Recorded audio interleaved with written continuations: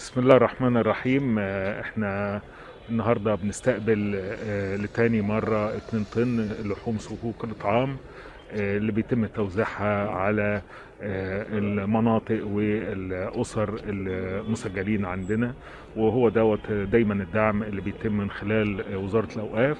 والسيد وزير الأوقاف آه، دايما متواصل لتقديم هذا الدعم داخل محافظة الشرقية ودور كبير بيتم في آه، توزيع اللحوم إذا كان صكوك الإطعام أو صكوك الأضاحي آه، بتاعة العيد. فكل سنة وحضراتكم طيبين والشعب المصري طيب وبخير ودايما نستقبل الخير من وزارة الأوقاف ونستقبل الخير من السيد وزير الأوقاف والعاملين على هذه الصكوك الهامة وأهل الخير الذين بيتبرعوا لأهلنا اللي موجودين داخل محافظة